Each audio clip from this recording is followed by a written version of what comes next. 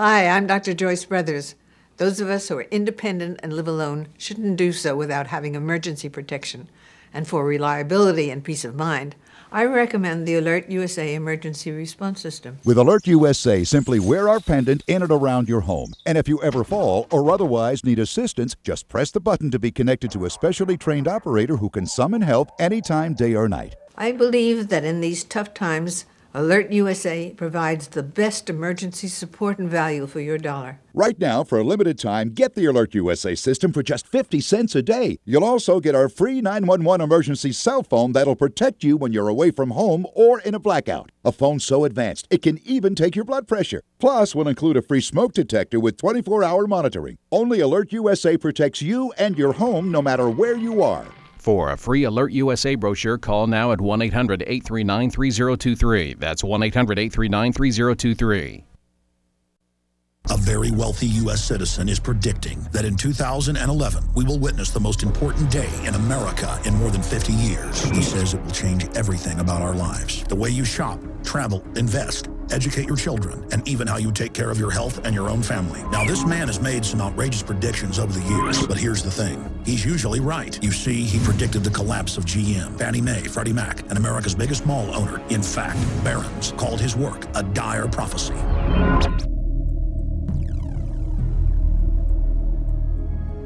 Recently, he created a video, which you can watch online for free, detailing his biggest and most important prediction yet. And it's a real eye-opener. I can't stress this enough. You should at least watch this free video online today. He explains everything you need to know, including simple steps you can take to protect yourself. You can watch it for free right now. Go to 47newamerica.com. Again, that's 47newamerica.com.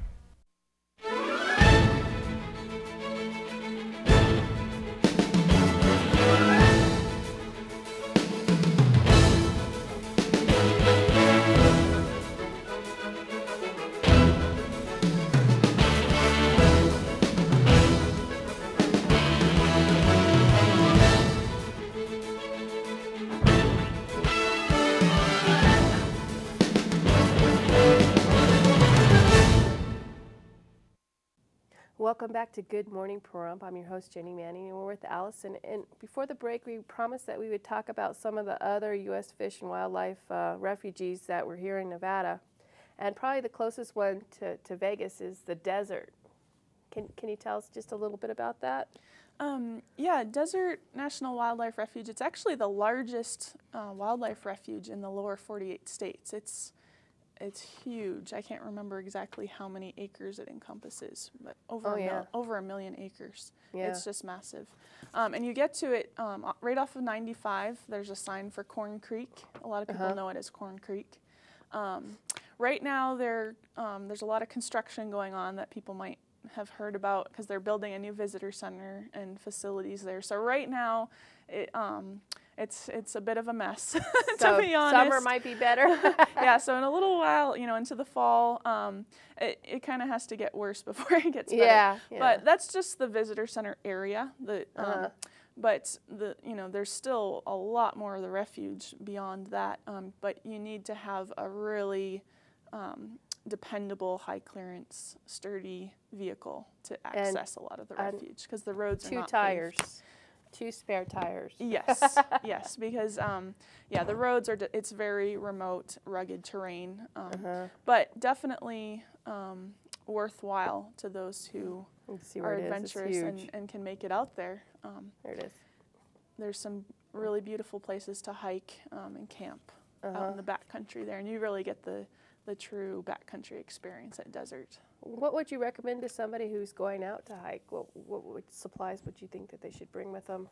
Um, honestly, I think the best thing to do is to um, contact the visitor center and um, the rangers there or the refuge manager before you go because it depends on the conditions of that day and you want to get up to date weather conditions and um, and that type of information. And the so weather there can change. And it can change exactly. Yeah. So I can't really say you know what the best advice would be right now, other than just check in before you in. go and be prepared. Always be prepared. Don't- Yes, so don't just go out empty-handed and hope for the best because that's when Yeah, GP- accidents GPSs so. don't always work out no, there.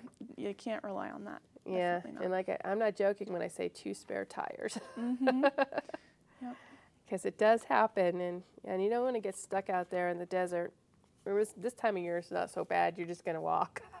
yeah. but in the summertime, it can be bad. but it, you know, and it's high, it's higher elevation because you're going up over a pass into the mountains. So Yeah. even at this time of year, you know, you can get snow, and you Oh, can really? get really cold temperatures. Um, so that's Yeah. why I say check in. Check in, and, yeah. And make sure that you know what you're getting into.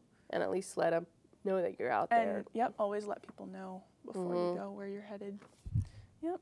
Then we got the Mo- Moapa, Moapa Valley. Valley. Yep. That- That's the um, the newest refuge. It's um, and it's also the smallest in the area. Yeah. Um, but um, it does have a, a new um, trail system um, with some information, and they're protecting the Moapa dace. Um, that that's a fish species there that's only found there, and um, you can actually see along the Oh, trail. is. they have a really nice viewing um, viewing window that you can actually see into the stream and Oh, see the cool. fish going by. It's it's really neat. So. It almost looks like a puff fish. Just Yeah, they're uh, the dace are a little bit they're longer, Uh-huh. um, and they have some different characteristics. I'm not a fish expert Yeah. myself um, to go into all those details, but they are they're distinct species Uh-huh. because pupfish are killifish, whereas the dace are are um, you know in a separate group. Okay. So and last but not least, one where you can go and fishing. Pahranagat, yes. Pahranagat is um, if you take Highway 93 north. Uh huh. um, for about an hour and a half. And um, it goes, it stretches right along the highway, but there's um, a lot of really beautiful lakes and springs, um, camping. A lot of bird watchers go to Pahranagat because there's so much water and um, great habitat. There's a lot of interesting migratory birds that come through. Mm-hmm. Um, Yeah, I think I've been, I've been there. It's really pretty. mhm, it's gorgeous. Yeah. Just in my travels, just all the different wildlife. You have eagles up there too. It Mhm. Looks like eagles. Yep, we have the Uh-huh. golden eagles, occasionally bald eagles. Uh huh. Um, so Wow. Yeah, and then of course a lot of mammals, coyotes and things Mhm. like that. So. Coyotes. Yeah. Yeah. That's big elk too, huh? Mm-hmm. Yeah. So this is one that you could actually stay overnight. Right. Yeah. At Ash Meadows, um, there aren't any. There's no camping or facility, so it would be more of a day trip. Uh-huh. But at um, Pahranagat and Desert National Wildlife Refuge, there is camping allowed at Mhm. um, on you know, designated areas. Uh-huh. So. Yeah. So you can you can. Um, is there any sir? Is there any charge for that? Um, nope. I don't believe. I don't believe so. Might need to check in, Yeah. on that one. but yeah, it was what a great what a great place you know to spend your weekend. I've I've been I've been there. You know we have lots of good restaurants here. You could pick up your food in Pahrump, and it'll still be relatively hot when you get into Ash Meadows. It's it's uh you, you hear the miles, but it's not bad because you're not stopping it. It's not like a, a Las Vegas mile. It's a country mile. Exactly. you can just go straight and not have any traffic to worry about. Yeah, no, no all. traffic, no stoplights. It's a mm-hmm. country mile, and and, and it's way different than the city miles. It's not mm-hmm. bad. Once you get out of Las Vegas, it's it's just a, pretty much a straight shot, Mhm. and it's easy to mm-hmm. find. And a lot of people like there's there's some really interesting things in the the surrounding communities, um, so you can make a nice day trip of it. I always like to tell people to stop by Shoshone and Tecopa, um, Uh-huh. which is you know near Death Valley, and Death Valley is really close by as well. Yeah. So you know there's a lot of really interesting places that you can explore, um, and then also Ash Meadows, Mhm. if you wanted to do it for you know even a, a weekend trip. Yeah, and it's just right there. You know, right right in our own backyard, Mm-hmm. And it's a, it's a great place to come come out. But but desert is the closer one. But but like I said, the just the trails alone, it's a safe Yeah. place where you can take your kids. Mm-hmm. I know our sales guy Dan says he likes to take his kids there because the boardwalks, there's no escaping. He's got little boys, you know. So because of the railing, on the boardwalk, you could just let them go and Right. run. And then they can't get lost because it's a loop. and Yeah. There's, you know, or like at, by our visitor center, the Crystal Spring Boardwalk, it goes out to Crystal Spring and then comes right back. So they really, there's nowhere to get lost. Yeah. so, but that's a really Yeah. beautiful one that I would recommend. It's that spring. It's um, it's the largest flowing spring. So it's not necessarily the largest in area, Uh-huh. but it puts out over 2,600 gallons of water every minute. Wow. So that's actually, you know, think about it, that's a lot Yeah, of it is a water. water. um, and the springs, um, you know, people don't expect it. They, that's one of the things that people always comment about is just how beautiful blue the water is. Because Uh-huh. it looks very tropical, but it's out Yeah. in the middle of this of this Yeah. really dry desert. It, so. it is. It is truly an oasis. Mhm. And I, under, I understand that the Native Americans used to live in that area. So there's there's a little bit of history there too. Yeah, a lot, and they and you know, the Paiute and the Shoshone still live in this area, um, Uh-huh. and um, and come to the refuge and consider consider all of this this area to be very special. It is. It is. Yes. And, well, here's here's a picture of the boardwalk. If you can see that, I mean it's it's really nice out there. It's worth Mm-hmm. it's worth coming out and spending the day. And uh, here's another picture. But yeah, the board the boardwalk is is so nice, and I understand. Like I said, when I was there, it was it was nice, but I, but but you have to come if you haven't been there in a couple of years because there's changes Right.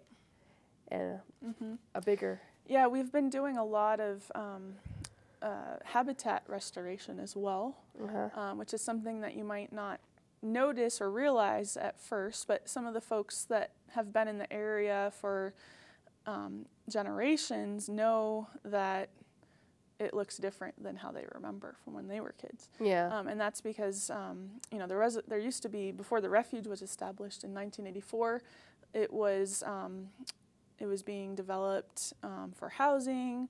There was plans for housing to Yeah. go in, and also it was under large scale farming um, Uh-huh. and ranching. Wow. And so a lot of the water had been diverted into cement channels and irrigation. There's a whole irrigation network if you look at the maps. It was. Yeah. just all like crisscross. It looked like it was starting to look like a little mini Vegas. yeah. just because of the channels um, and where the water is being redirected. But we've, um, in a lot of areas on the refuge, we've torn out those channels and Uh-huh. re actually gone in and dug um, natural streams.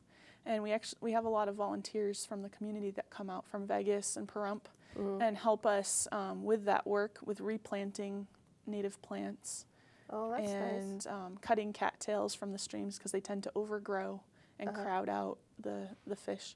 And so, um, so on a lot of Saturdays, we have what we call stewardship Saturdays Uh-huh. when people can come out and help us with those projects. And if somebody was interested in doing that, how would they get a hold of you? Um, they can um, just call us and Uh-huh. ask about it. Um, there's also a website um, called getoutdoorsnevada.org Uh-huh. where um, volunteer events are posted, um, not just for Ash Meadows, but for in this whole area. You Oh. can find about, about ways to volunteer Well, that's nice. on public lands. Yeah.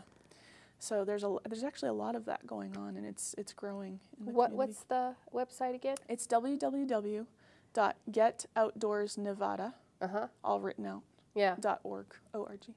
Well, that's that's cool. Mm-hmm. Well, I just see here. I, I didn't know about this uh, cabin. I guess it just got restored. The Longstreet The cabin? Longstreet, yeah, Yeah. Jack Longstreet. That's, that is cool. If I don't know if you guys can see it on the camera, but but they restored the cat the cabin or the original settler. I had no idea that. Yeah, it's really you can actually go into the cabin and Oh, see. you can? Mm-hmm. Yeah, it's really neat. That's our shortest boardwalk. Um, it's only what maybe 0.2 miles. Mm-hmm. Not even that. Maybe 0.1 miles. Um, but it leads up to the Longstreet Spring, and that's where Jack Longstreet was one of the earlier settlers. He lived at Ash Meadows for just a few years in the um, really early 1900s. Mm-hmm. And um, that cabin he built was actually a food storage cabin. And the spring um, would have flowed actually through, maybe a bit of a trickle going through the cabin, but it kept Oh. it kept it cool. Oh, that's So it was like a natural refrigeration. Yeah. yeah, That's how they had to do it back in the day when there wasn't electricity. yeah. So Um, but he lived in a cabin further back behind that one, behind where the boardwalk is. Yeah, I'll have to go out. I haven't seen that. That's that sounds cool. Mhm. Yeah, it's it's beautiful. It's a great way to get exercise too, without thinking that you're getting exercise. Right. okay, one more time that website. um, www.getoutdoorsnevada.org. Well, well, it's time to go already. Well, Oh, wow. Thank you so much for joining us today, and thank you for coming. It's You're been welcome. great, great Thank you for educational having me. experience. Thank you.